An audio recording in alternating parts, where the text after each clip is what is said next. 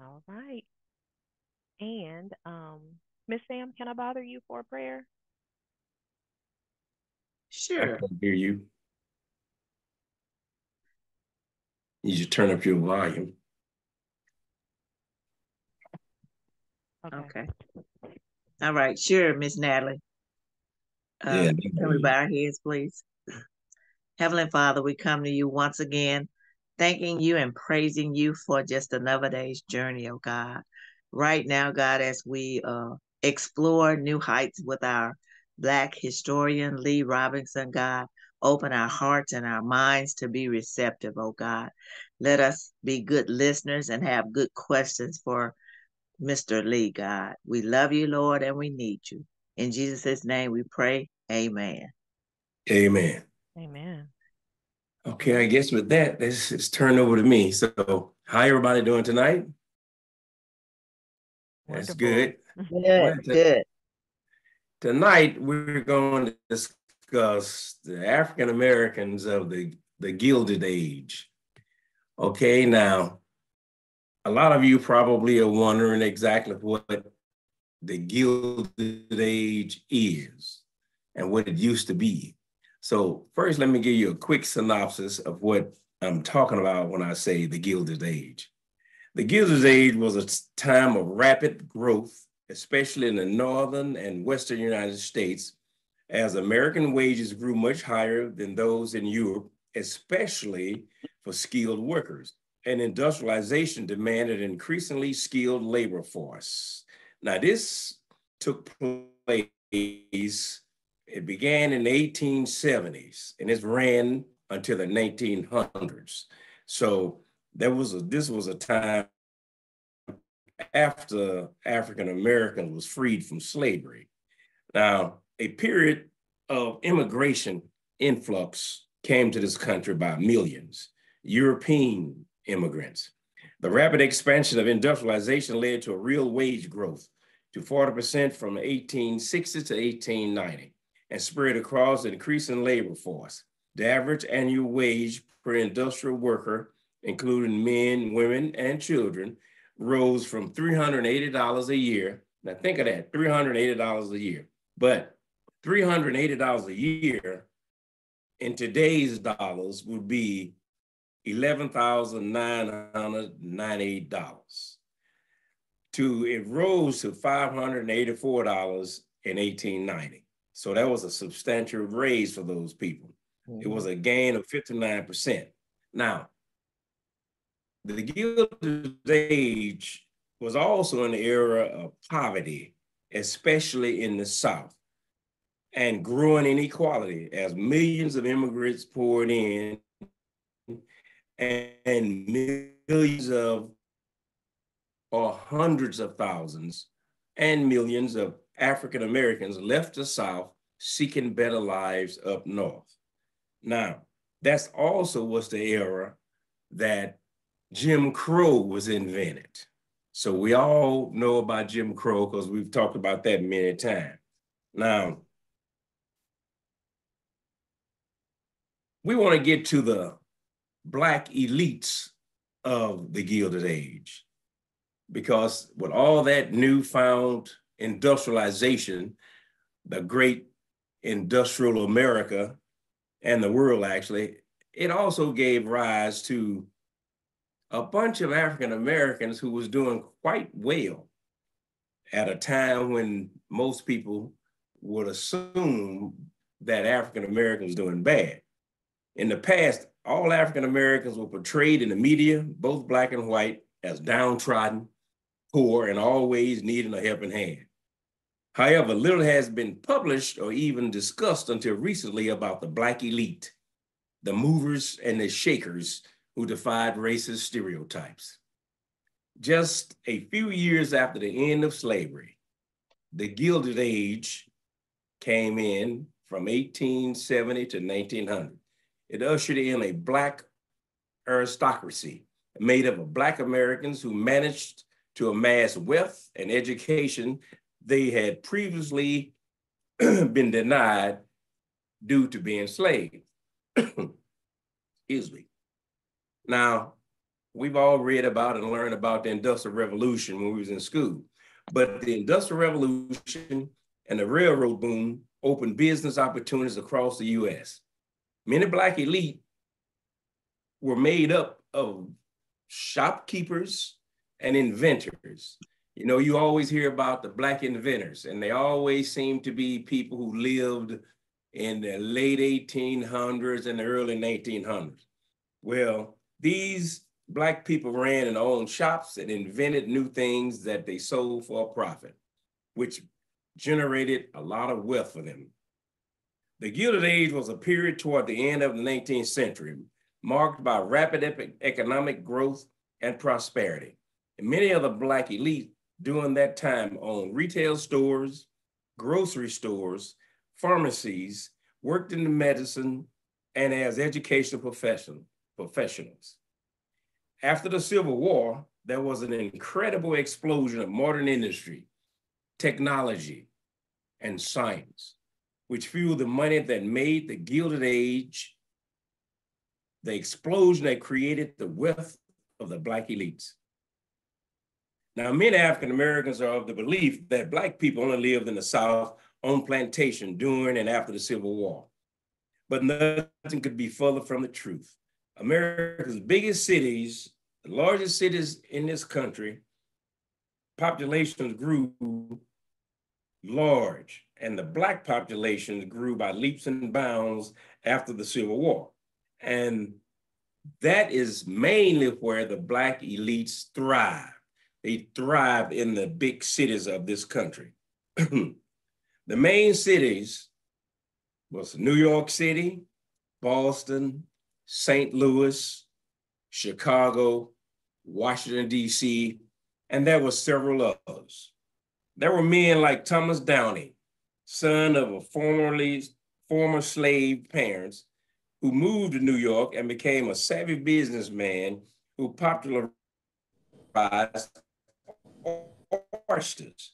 Oysters had been considered just a low common food. But in 1825, he opened the upscale Thomas Downing Oyster House, a restaurant so popular that Downing was nicknamed the New York Oyster King. Now, just look at the time period. He got started even before the Gilded Age started in 1825, while other Blacks was enslaved in other areas in 1825. This guy was making big money in New York City. Downing was one of the wealthiest people in New York City at the time of his death in 1866. Even though he was prohibited from acquiring U.S. citizenship until the Civil Rights Act of 1866 was passed, just one day before he died. Because now you have to remember that Black people were not really officially citizens of the United States until they passed the 14, 13, 14 amendments.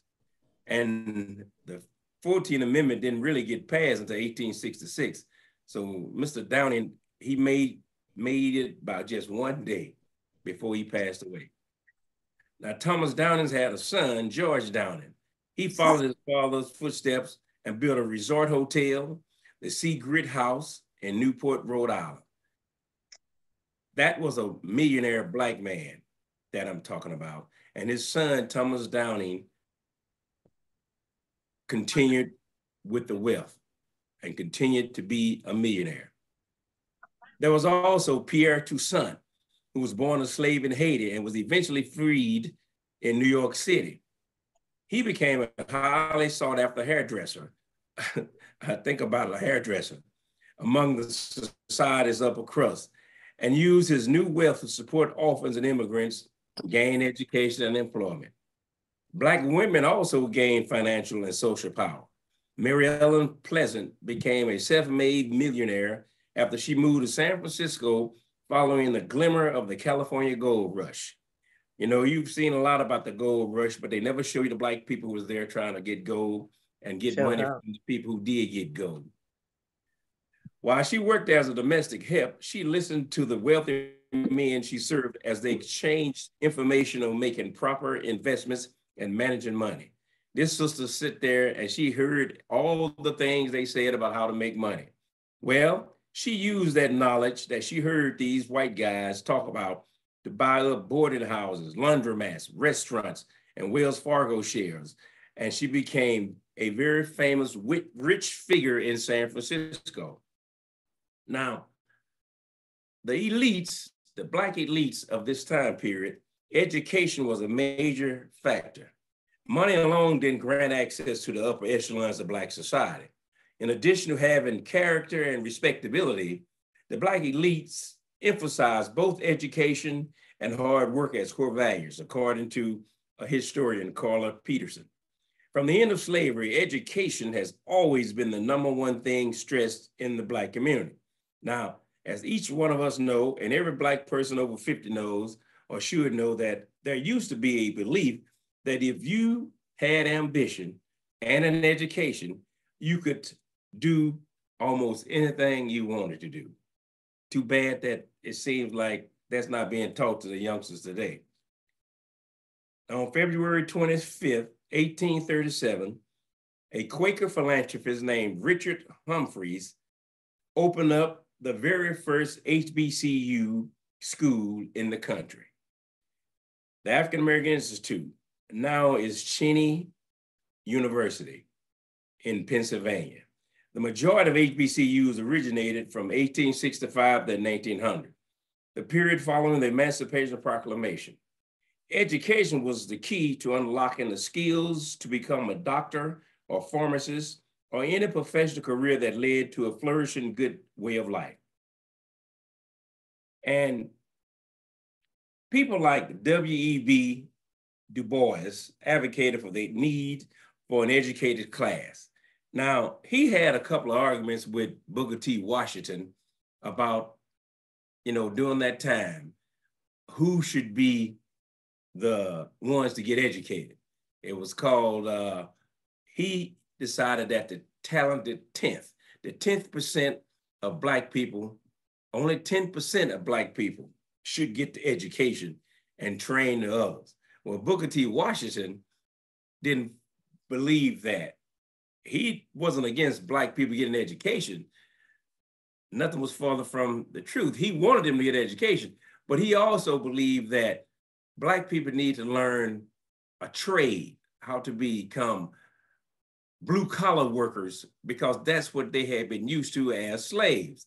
And that once they learn a skill and a trade that they can earn money, from, then education will come along. But anyway, these two guys argued, and actually, the Black elite became part of both. Some of the talented 10th and some of the blue collar workers, and they all did pretty well. He he was like, now he had a quote: "The Negro race, like all races, is going to be saved by its exceptional men."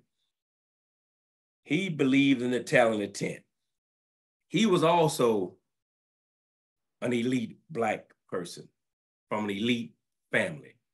And another thing that quiet as it's kept, most of these elite black people were mixed race, just like W.E.B. Du Bois. He calls himself Dubois, but his grandfather was actually named, I mean, Du Bois. His, his, his grandfather was actually named Dubras. He called himself Du Bois to try to make it sound more American. But he, you know, eh, well, I just continue. Don't get me wrong, because not everyone black had wealth during the Gilded Age. The Gilded Age was also notorious for having the rich elites on one corner and the very poor on the other corner. Most workers, especially uneducated Black Americans and European immigrants, faced extreme poverty and harsh working conditions in northern factories. Even those who did manage to gain wealth faced pervasive systemic inequities. White society largely viewed Black Americans as a homogeneous mass of degraded people. According to Willard B. Gatewood in his book, Atrocities and Aristocrats of Color, the Black Elite. Even exceptional Blacks were considered inferior to whites, he wrote. There was another fact that has been kept quiet in our, in our history, and I think I just mentioned this, but I, I'll mention it again. the fact that many of the Black elites were a mixed race and some even passed for white for most of their lives. This fact caused a certain amount of cooperation and interracial alliances between Blacks and whites. Professional relationships enable Black Americans to climb the ranks within business. Because, you know, in that early period of our history, from the 1870s to the early 1900s, it was almost impossible to get anywhere as a Black man without having some type of relationship with somebody white. You had to be friends with somebody white who liked you, who respected you, who wanted to help you. Because if you was just down for the brothers, uh, you probably was never going to get anywhere. So you had to use your intelligence. So if you had white ancestors, you had to let it be known to some of these white people so they can help you. And that's exactly what happened. Historians believe if not for the Black elite and their ties to the political and social activism in the 20th century, the NAAC would not have been founded in 1909, or the Harlem Renaissance would never have happened. None of this could have happened without having had the 19th century Black elite. Many of the things that we enjoy, many of the rules that help African Americans get to where we are today was because of those Black elite rich people living in those areas. Madam C.J. Walker was a was one of the black elites. Uh, there was plenty of people who you have heard about, you have, have read about, you know about. They were part of the, the black elites of the Gilded Age. Now, where did the black elites live in St. Louis? And can anybody, anybody, just give me a good answer. Anybody, where did the black elites live in St. Louis? In the Ville. Bingo, she wins a cigar. yep, the black elites in the mid 1880s, 1800s, the Ville was a semi-rural suburb of St. Louis known as Elleardsville, which later became part of the city of St. Louis. In the early 1900s, the Ville became one of the few areas of St. Louis where African Americans could own property, and by the 1920s and 30s, the Ville had become the cradle of culture for Black St. Louis. The Ville not only attracted major Black figures in a number of fields, but produced a disproportionate number of individuals who went on to receive worldwide recognition. Dr. Martin Luther King Drive, originally Eastern Avenue, served as the main commercial street in the neighborhood, and a number of Black institutions were established in the neighborhood, many of which are still functioning today. Due to the long period of development, the Ville, a wide variety of agricultural styles and building types can be found. The Ville was designated as a local historic district in 1987 and was expanded in 2006. Now, the Ville the good thing about the Ville is the rich black elites lived next door to the middle class. And the middle class lived next door to the ones who was lower middle class because there was a time of segregation. So black people had to all live in the same community, even though you may have been rich, you probably lived on the street where the, where the well-to-do lived, and the middle class may have lived on another street where the middle class lived. And the lower middle class lived on another street. However, all those neighborhoods, all those streets was, was within the Ville. And what a sad note is, we was pushing so hard for integration. As soon as the laws passed for integration, businesses, the black hotels, the black restaurants, and the black professionals began to move out of the Ville, rich and middle class, leaving the lower middle class. And so the Ville became what it is today because the well-to-do educated intelligentsia moved away. And that had that happened to most of your big neighborhoods. That happened in Harlem, New York. That happened on the south side of Chicago. That that happened almost in Prince George's County in, in Washington, D.C., but that neighborhood is still pretty much intact. That was a neighborhood in Washington, D.C., where the Black elites lived in Prince George's County. And these people are very rich. And there were rich people that lived on the south side of Chicago as well. And the Harlem, believe it or not, that is where a whole bunch of rich black people lived until Harlem began to go through that change that all black neighborhoods seem to go through. Now, we're going to talk about Harlem a little bit more in my in our very next uh, historical lesson. Now, these are some of the people who you knew about who were black elites during the Gilded Age. You ever heard of Garrett Morgan? He was part of the black elite who blazed a trail for black inventors with his patents, including those for an improved traffic light and a breathing device that preceded World War I, which became known as the gas mask. You heard of Lewis Latimer. He was an inventor and draftsman, best known for his contributions to the patenting of the light bulb. And he used to work with Thomas Edison. He was on the Edison team. We spoke of W.E.B. Du Bois and we know he had founded the NAACP. He was also the first African American to earn a PhD from Harvard University in 1895. And he did a lot of other things. And Carter G. Woodson, the very man who started Negro History Week, which we have turned into Black History Month. Carter G. Woodson was an American writer and historian known as the father of Black history. He penned the influential book, The Miseducation of the Negro. And one day, if you guys can read that book, that is a very good book. And I've mentioned him before, Booker T. Washington was one of the main African American leaders of the late 19th and 20th centuries, following the Tuskegee. Um, I'm sorry, he found the Tuskegee University. He found that university. Now, I have a couple of books I know you guys might not have pen and paper, but these books uh, will help you learn a little bit more about the Black elites of the Gilded Age. One book is called Our Kind of People by Graham Lawrence. That book describes how the Black elites belong to all of these fancy, you know, you say, you know, I know you guys have heard of cotillions and and balls and most of your most of your fraternities were all part of that uh, black elite group.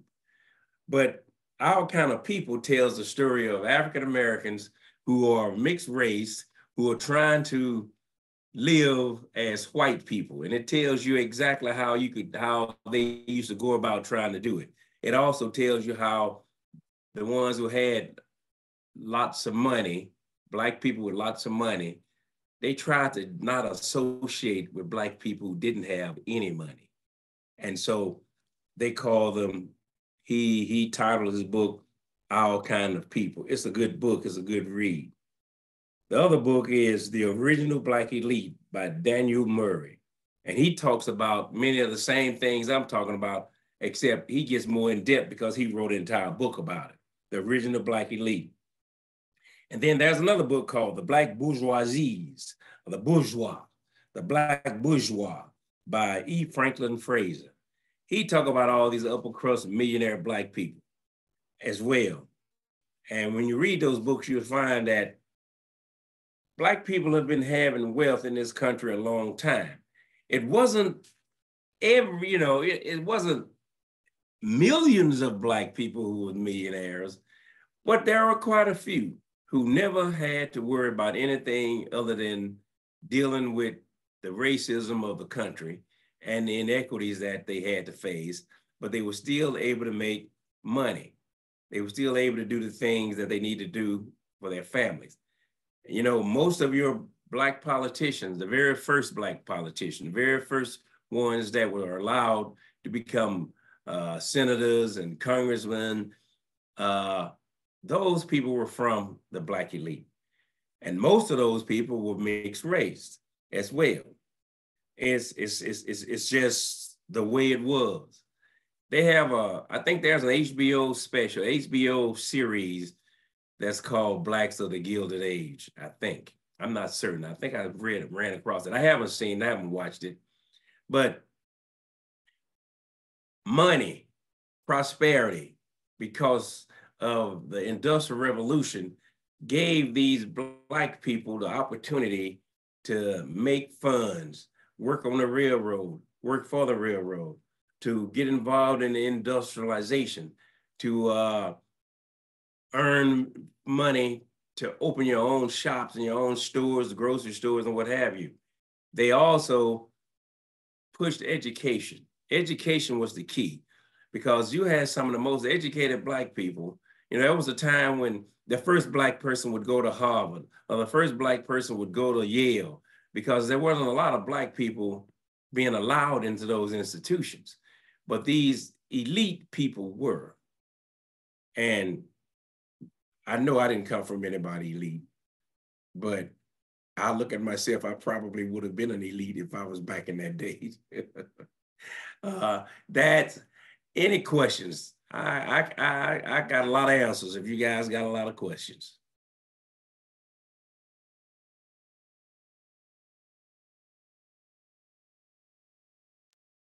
Hey everyone, I had taken uh, videos down when Mr. Robinson was speaking, but now that we're at the question and answer part, please feel free to turn your videos back on as well. I really couldn't hear you. Oh, I'm sorry. Okay. Corey has a question. Say it again. Thank you, Sister.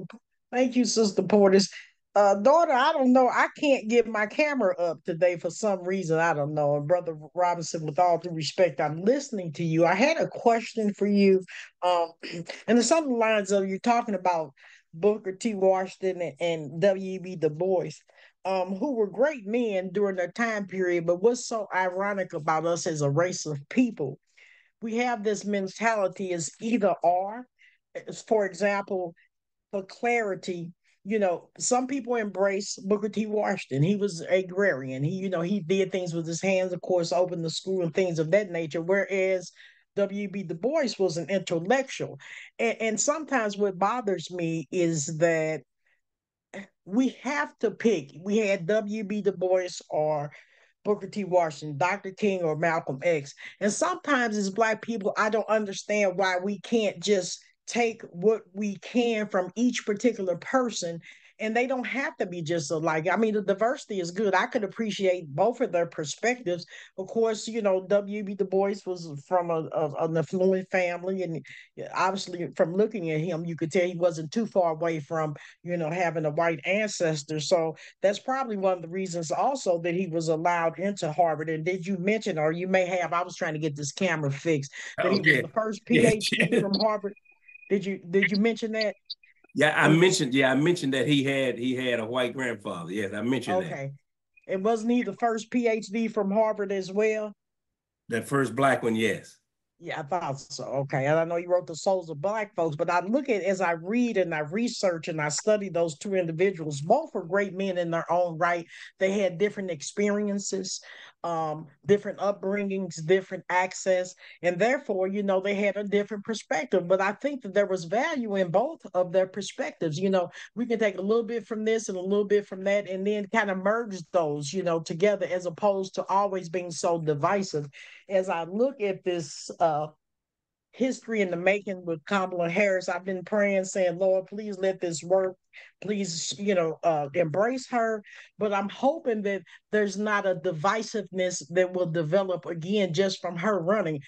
Um, you know, I don't foresee anybody that's you know really will be some divisiveness in terms of her running and and will she get a lot of pushback from some prom or just some pushback from some very prominent black folk who made successful. Well, well, you know, uh, you're right. Everything you said is is is spot on, and and there were groups of people who subscribed to both W.E.B. Du Bois and Booker T. Washington's philosophies. because that's how we that's how we end up getting where we are today. Uh, you know, Booker T. Washington founded Tuskegee University. To be honest about you, to be honest with, with you, even though uh, W.E.B. Du Bois was an important man and he was a, a, a, a intellectual, Booker T. Washington actually did more tangible things for the African American people than W.E.B. Du Bois, because W.E.B. Du Bois did center his thought on just the intelligentsia, the educated ones, the ones, you know, who could become the movers and the shakers and, and challenge white folks for political positions. But at that time period, at that time period, you and I both know the best thing he did was come up with the NAACP because the NAACP became a, a, organization to fight for justice for black people. And that was the best thing he did. And he he did that along with a lot of other white people. Like I was saying earlier, if you didn't hear me, the, these guys had to get white people on their side. But the difference with Booker T. Washington, he got the president of the United States on his side to help create things for Black people. He had an open door policy that he could go to the president and talk to him about all sorts of things. So, and and that he was like an unofficial Black cabinet uh, member of the president. So you're right. They they did have adversarial type ideas, and there were people on both sides bickering about it. And uh, but eventually they did come together. Now, on your question with Kamala Harris, the only the only thing I because I've been I've been reading, I probably should, shouldn't read it, but I've been reading uh, on the internet different, you know, uh, posts from different black people.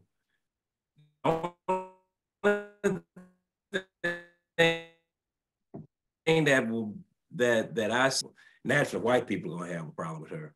But there are a lot of African Americans who see her as she wants black people to, to, to fall in line behind her. She wants black people to respect her. But when this is what I've heard, when she decided to get married, she didn't decide to respect black men. She decided to respect white men. And so there are going to be a lot of black men who just going to just say, nope, let them elect you. But, you know, it is what it is. You know, she wasn't, she didn't, she really wasn't that interested in black people according to these people until she started running for politics. But anyway, who knows? She may win. Any other questions? Can I just make one, one further point? Um, yes. regarding that, and I, I hear you and feel you on that. Um, the only thing, uh, and I thought that you know, uh, W. Du Bois was a, a, a, brilliant man, but he also had a concept, and I don't know if it was in the Souls of Black Folks, one of the books of his I read. Um, I'm sure you're familiar with that. But he talked about the talented tenth concept.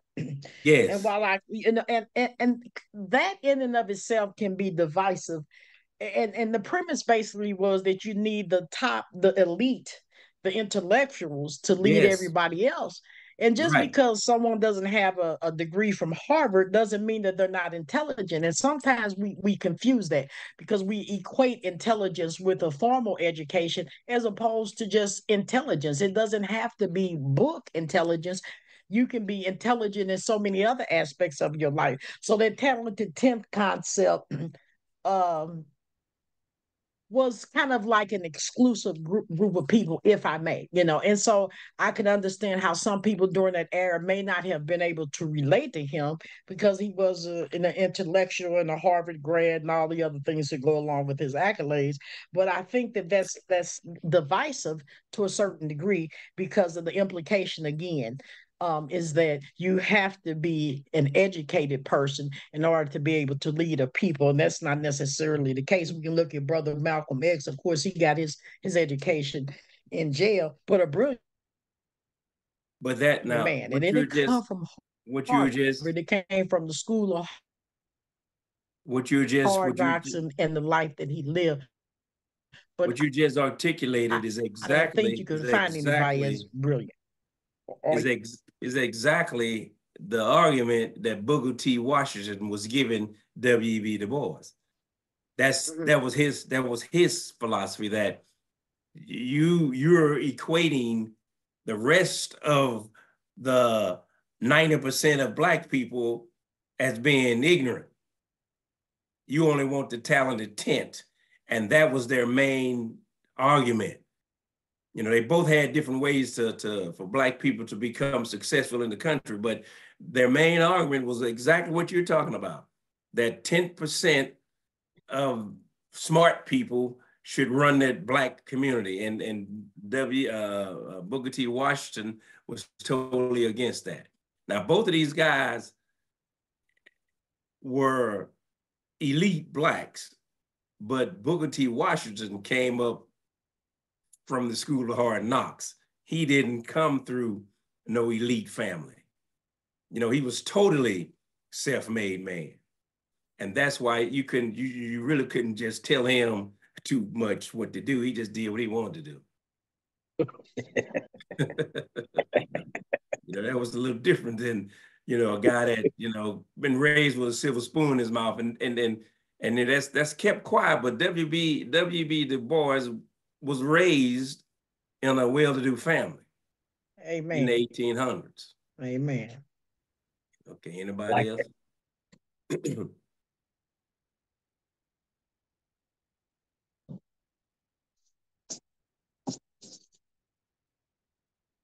Any other questions, comments want to make? Hey, I know I came in late, but I um and I only heard like the the back part of the story, but I like Booker T. Yeah, a lot of us like Booker T. Booker T did a lot. You, I mean, there's a whole university in in in uh, Alabama that Booker T founded, and thousands of black kids go to every year. Booker uh, W.E.B. Du Bois, there's no university that he founded. Hmm. So they both was educated type men in their own way. That's a good thing. Yes, it was. I this was my first time hearing about uh, the vice president lady.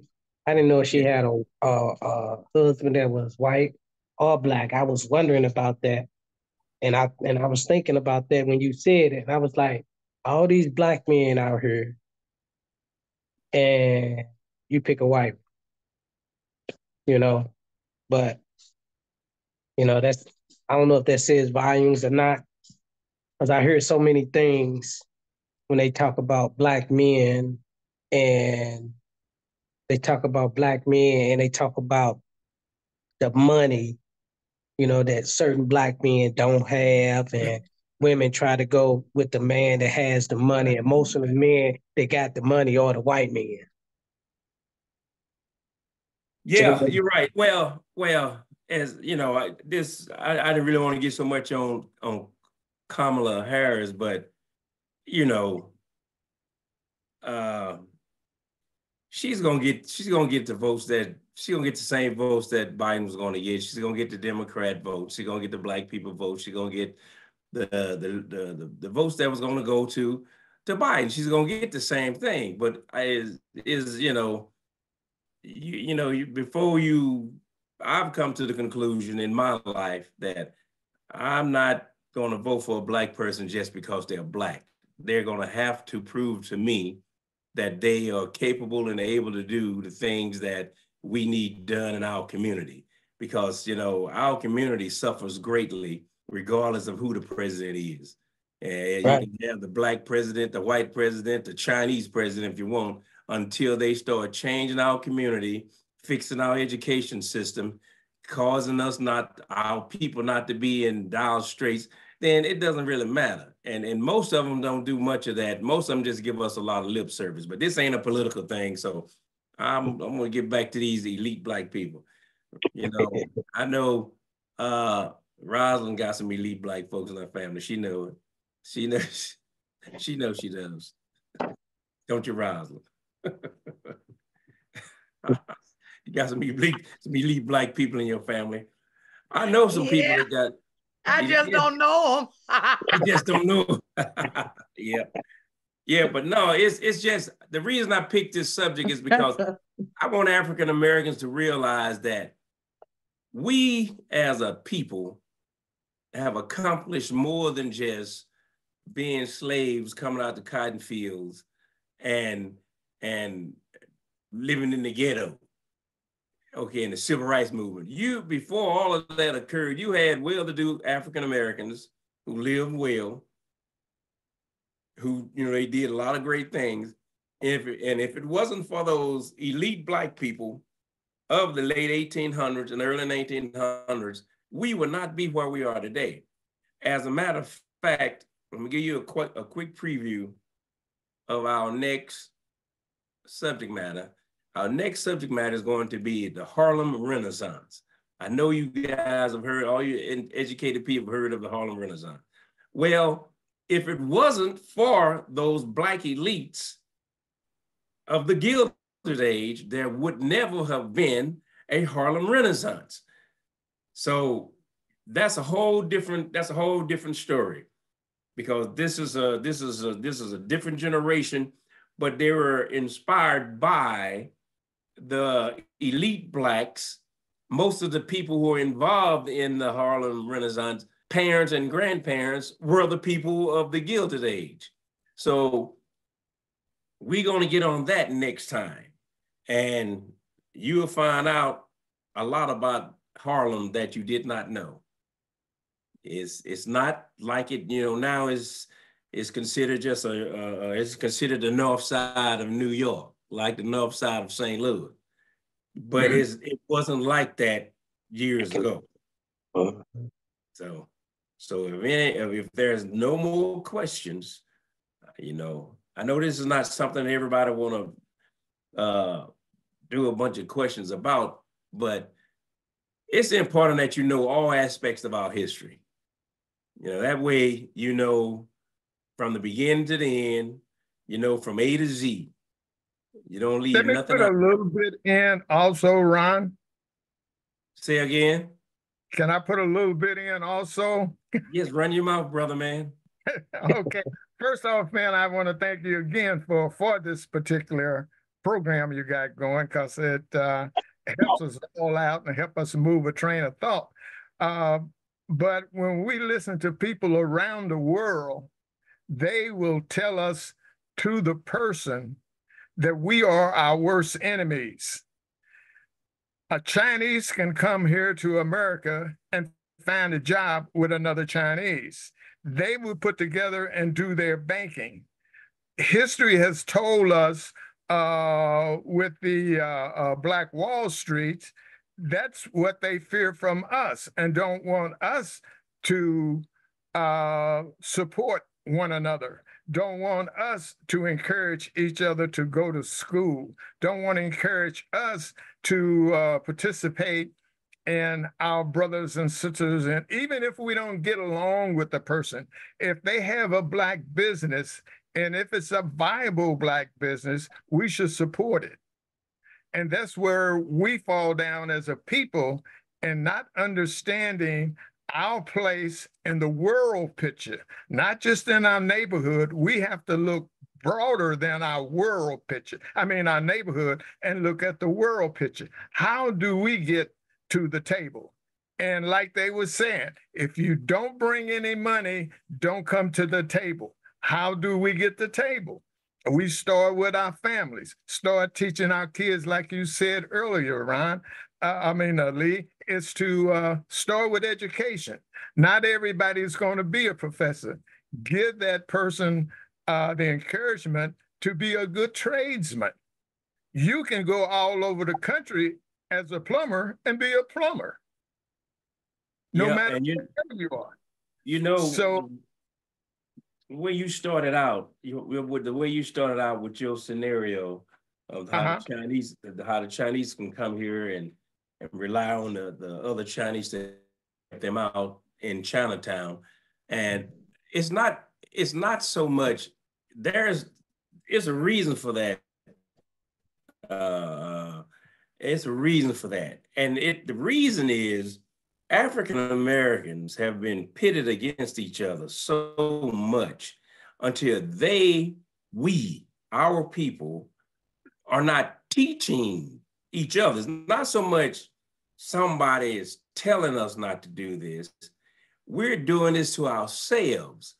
We yeah. are not uh, just trying to help the other black man that needs help because that's not something that you it's not in the it's not in the African American culture. It's in the African culture with Africans. But see, you you lost all of that when you came here. You lost all the Africanness. We black, but we are not Africans. We we we call ourselves African Americans because of the ancestors and all that stuff. But we we don't think like Africans. You think like white men. And the Irish had the same problem. The English wouldn't help the Irish. The Italians had the same problem. The English wouldn't help the Italians, but the Italians helped each other, and the Irish helped each other, and the Russians helped each other. But we didn't do that because we had been raised in slavery. Our ancestors, you think of this, you think of this.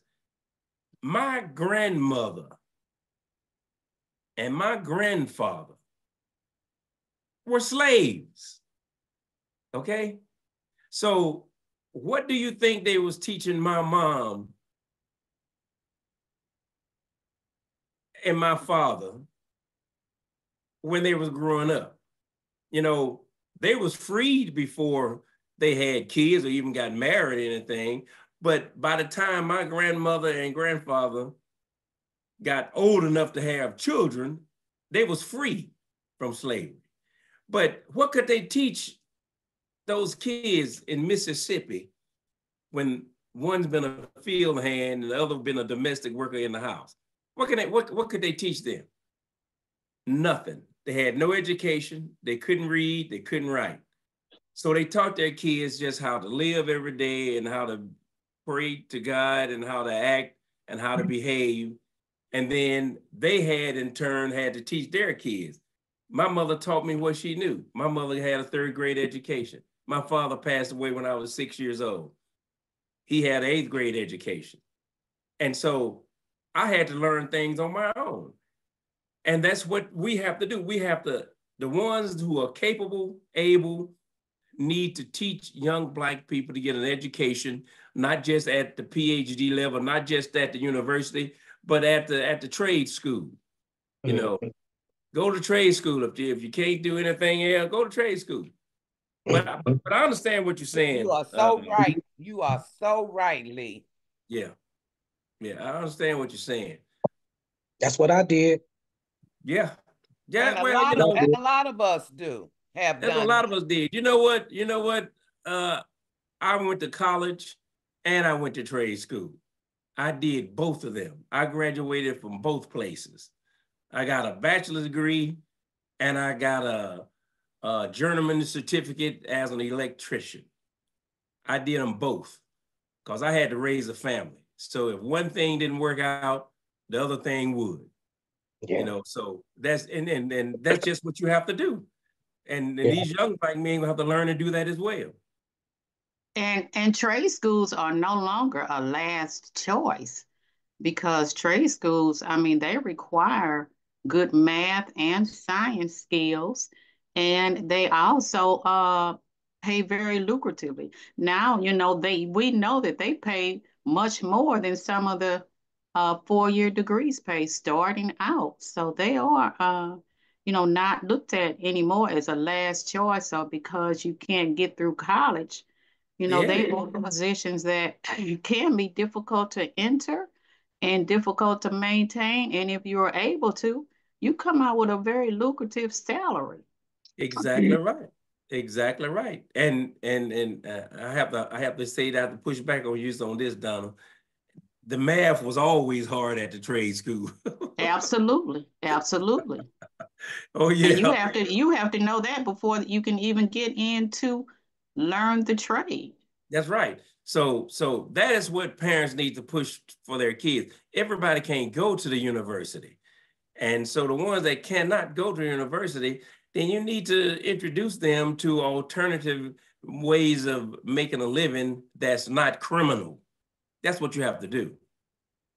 I I see appreciate our- this our- conversation for that very reason. And I'm just Yeah. going to point out that um, I agree with what everyone is saying in terms of the higher education trade school and looking for ways to make a, a living, honestly, without going through that. I think it's important to remember where our focus is and where our favor comes from as well.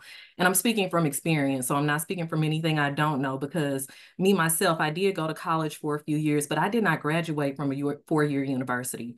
I ended up going and getting a, a an associate's degree at a trade school, and thank God he has shown favor to me in terms of the positions that I've been able to um, hold on to and just working up. And I think what a lot of children and young adults are misled is thinking that you have to have a four-year degree. Many of them go into debt, do not use those degrees, and find themselves um, making less than they set out to make or not able to live the life that they would like to to take care of their families. I think it is very important as parents and as Black people as well that we teach our children that there are other options, that there are ways to make yourself um, marketable in order to take care of your family and do what God has in our plan to do. And that does not always mean a four-year degree. So to look and give um, our, our children true other options versus pushing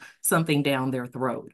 And, and again, I'm speaking from experience, so I understand that everybody may not agree with me, but that was the path that I ended up taking. And it, it and it's like you said, Mr. Robinson, from what we are taught, because my parents did not go to uh, four-year universities either, but they were all business owners. So the examples I had were my parents, my dad in HVAC had his own business. My mom was a real estate agent and, you know, was able to help support the family and do things on her own. Regina's a business owner. And these are people that were thankfully in my path to let me know I didn't have to put myself in a situation where I was financially strapped, but I was able to do the things, get the um, pay attention, grow, get the experience to be marketable and be able to get in those positions that God has blessed me to be able to walk into. And that's good because that, that everything you said is so true. And, you know, I don't think anybody disagree with you because, you know, Black people can become the modern day elite through trade schools and colleges. But trade schools, I mean, you you can make quite a bit of uh, money being a plumber or electrician or a or a roofer or uh, putting on siding or whatever you whatever trade you decide to take in welder whatever you decide decide to do your hard work will earn you quite a bit and uh, I'm gonna say, go ahead. Like the guy Connie had her hand up. Oh, I know. I guess put my hand up. Oh, okay time is running short so i guess we might as well get ready to close this one out but i appreciate you guys for listening and questions and comments i appreciate that i like i like the q&a and I, I like the interaction so thank you guys for coming in out tonight for this Thank you, Mr. We thank Well, well, we, you, we thank Thank you you. for your Thank you, information. Mr. Mhm. all right thank you guys It's always enlightening. Always. Mhm. Okay, I, I appreciate you. thank you Thank you gonna you. pray us out regina Regina. Thanks, Brother Robinson. Okay, you're welcome Father God, in the name of Jesus, we just love you. We thank you and we honor you. We thank you what we have received tonight, oh God, a wealth of knowledge once again, oh God, from Brother Robinson, oh God. We ask that you continue to grow us in our communities, to grow us in our spiritual walk with you, oh God. But most importantly, oh God, we want to draw closer to you so that whatever purpose that we have, our children have, our children's children have, it can be revealed to us. We can discern it, oh God, and we can walk in that. We love you, we thank you, and we honor you. In the blessed name of Jesus, we pray. Amen. Amen. Amen. Good Amen. night, everybody. Good night. Good night. Thank you, Lee. Mhm. Amen. Thank Welcome. you. Amen.